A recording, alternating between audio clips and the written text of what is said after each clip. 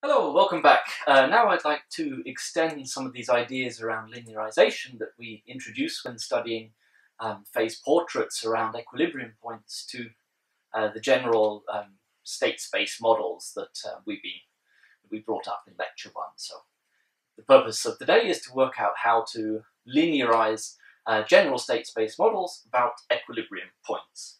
Um, so what we would like to do, we would like to linearize uh, a model on the form x dot is equal to f of xu, y is equal to g of xu, about an equilibrium point, um, which is x u equal to x star u star. And so what must these, so these are just vectors of numbers, x and u. What must these vectors of numbers satisfy in order for this to be called an equilibrium point? Well, we just need that x dot is equal to zero. So about um, this point here, and in brackets uh, we have so f of x star u star is equal to zero. So this is our condition for x and u, oh sorry, x star and u star to be in equilibrium. And we're just going to do exactly what we did um, with the uh, phase portraits. So the first thing we're going to do is we're going to introduce a set of variables that measure our deviation from the equilibrium point. So these are going to be a variable delta x, which is equal to x minus x star. So delta x gives you the distance between x and the equilibrium value of x. And we have the same for delta u now. Um, and we've got one variable left, which is y, so we need a delta y, and this measures the deviation in y from its equilibrium value, so from the values you get when you put x is equal to x star and u is equal to u star into g. So this is equal to y minus g of x star u star. So that's step one. Um, so we have these variables measuring our distance from equilibrium. And then step number two is we write it in uh, the following, we write, rewrite our system of equations in the following uh, linearized form. So we have d by dt, and here we we now replace x with delta x, so x dot becomes delta x dot, and this is going to be equal to some linear term that depends on delta x, so we have some matrix of numbers A, and the vector delta x, plus now a linear term that depends on u, delta u, and then all of the, everything that's left over.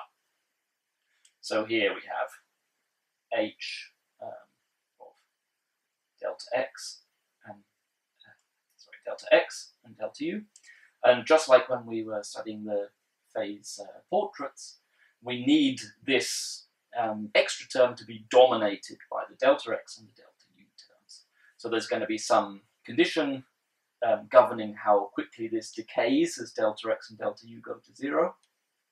And just like before, this is just to ensure that this behaves like squared powers and higher. So everything here is of the order delta x squared and delta u squared.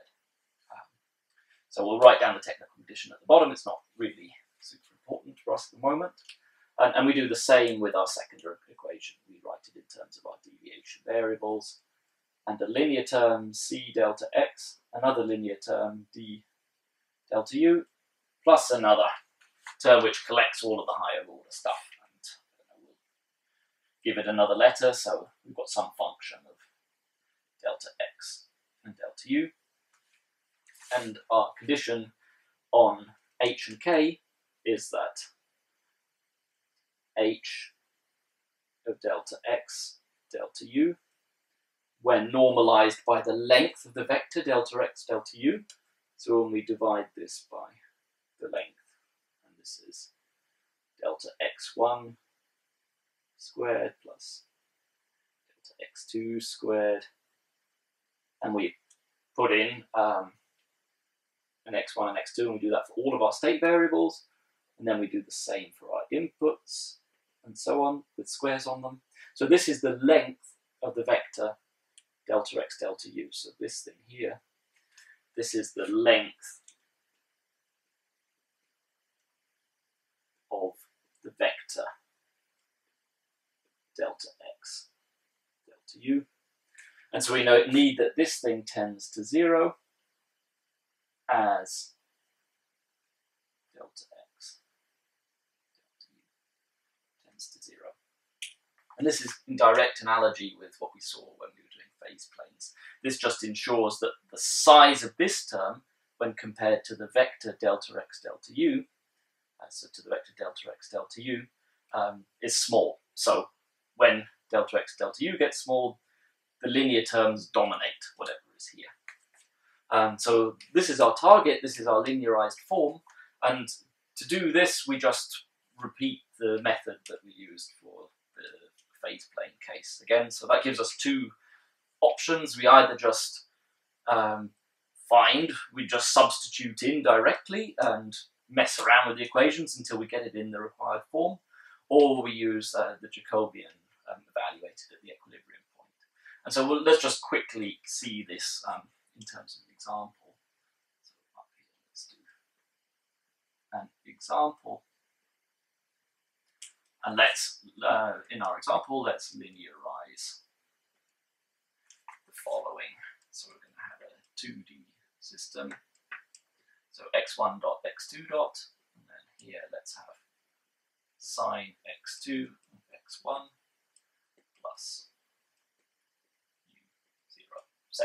So here we've got a system in the form x dot is equal to f of x u.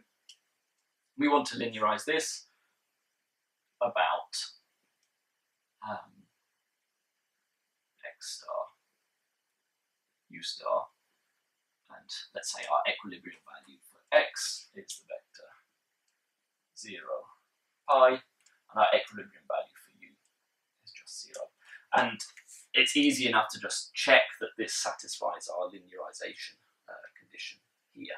You see sine of x2, if x2 is equal to pi, this is 0, x1 is 0, u is 0, this whole thing is 0, so x dot is equal to 0. Um, so we have a nonlinear system, we have an equilibrium point we'd like to linearize around, uh, so let's just do it.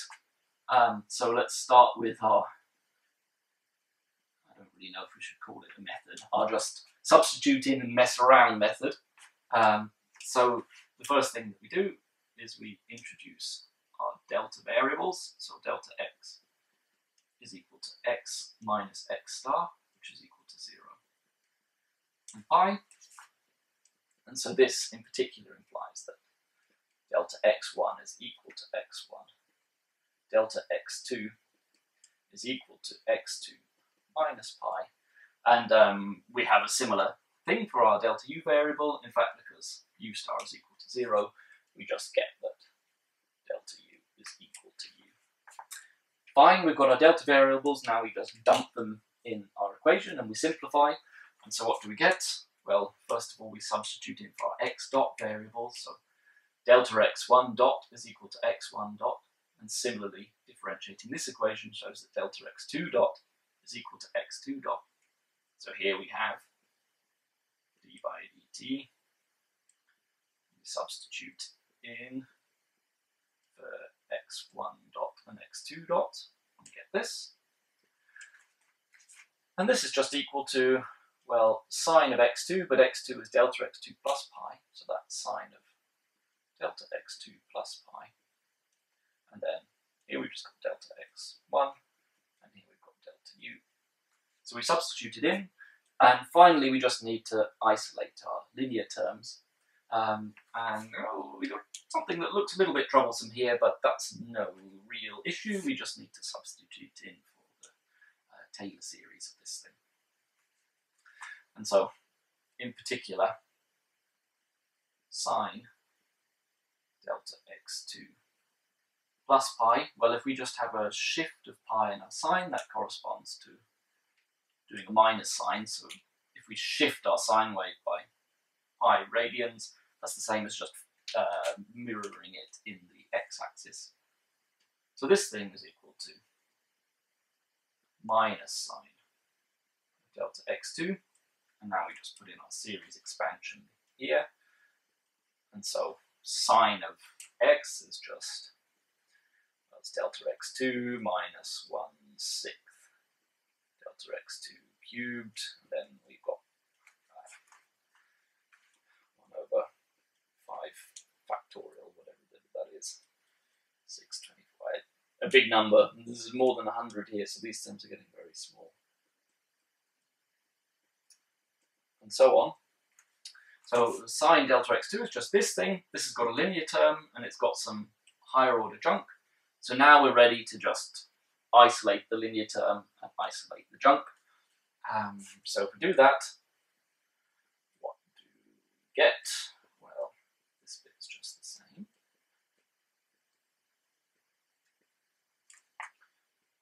And now we have the linear term that depends on delta x1 and delta x2. That's our A matrix. Then we have our B matrix, delta U, and then we've got everything else. So here, what bit depends on delta x1 and delta x2? Well, nothing here depends on delta x1, so we've got 0 there. And now delta x2, oh, we have a minus delta x2. So we've got a minus 1 there. And similarly, what depends on delta u? Well, we have a 1. Now let's deal with the second equation. Well, this is delta x2 dot is just equal to delta x1, so we've got a 1 and a 0, and nothing depends on u. And now we just have all of the junk. So we've got a 1 sixth delta x2 cubed, and so on.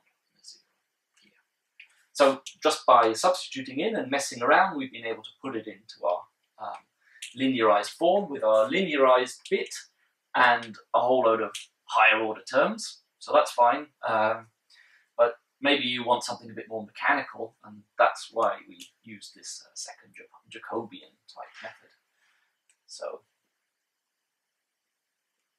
method two is you just say my A matrix is equal to a big matrix worth of partial derivatives evaluated at our equilibrium point x is equal to x star u star. And I'll just do it for the A matrix and I'll give you the formula for the B matrix and then the formulas for C and D you can just find them in the lecture notes. Um, so here, what goes in here? Well, we've got df1, dx1, df2, sorry, df1, dx2, and so on. So we keep all the f1s in the top row, and we iterate the index of the x's in the columns. And now the second row we have df2, dx1, DF2, DX2. So the pattern continues and we fill it out with as many state variables as we have. So what do we have in this case? Um, right, so what is F1?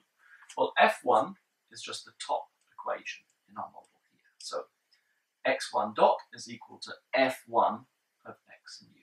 So it's equal to sine of x2 plus u. So what is df1 by dx1? Well, nothing here depends on x1, so that's 0. df1 dx2, so we have to differentiate this bit with respect to x2, we get cos x2. Similarly, this term, df2 by dx1, well, this is f2 here, so f2 is equal to just x1, so df2 dx1 is 1, and nothing depends on x2, so we have a 0 here. And then we have to evaluate it at the equilibrium point, now the equilibrium point at equilibrium x2 is equal to x2 star and x2 star is equal to pi. Cos of pi is equal to minus 1. This A matrix is the same as this A matrix. All is well with the world. And we've run out of uh, room on the board here, but um, there are similar formulae in terms of partial derivatives, and they obey the same pattern that you see in um, the A matrix here to find the matrices B, C, and D. Um, and the best way to get the hang of this is to just go do some examples.